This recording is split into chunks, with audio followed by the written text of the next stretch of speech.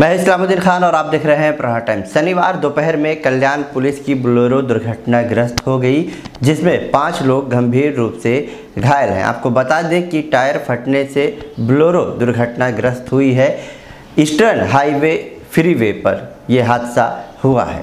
कल्याण police की एक team, एक महिला आरोपी को मुंबई के भाई खल्ला जेल से ताबे में लेकर वापस लौट रही थी। जब ये ब्लोरो ईस्टर्न हाईवे के फ्रीवे का जो हिस्सा है, वहाँ पहुँची तो ब्लोरो क्रमांक M H zero five P one three zero का टायर अचानक फट गया।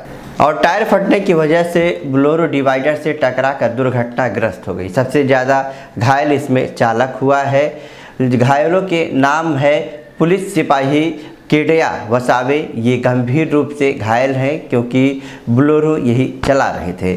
पुलिस हवलदार काले, महिला पुलिस नायक गांगवे, महिला पुलिस सिपाही सनागर और आरोपी महिला यास्मीन पाशा, शेख, ये पाँच लोग घायल हुए थे। पाँच जख्मी लोगों को मुंबई के जेजे अस्पताल ले जाया गया, जहाँ गंभीर रूप से घायल केडिया वसावे को अस्पताल में भर्ती कर लिया गया। बाकी चार लोगों को इलाज के बाद छुट्टी दे दी गई है। किस तरह से ये टायर फटने की वजह से ब्लोरो दुर्घटनाग्रस्त हुई है, कितना भयानक ये दृश्य था, देखिए।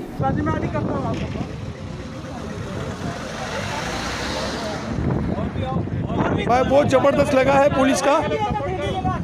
पुलिस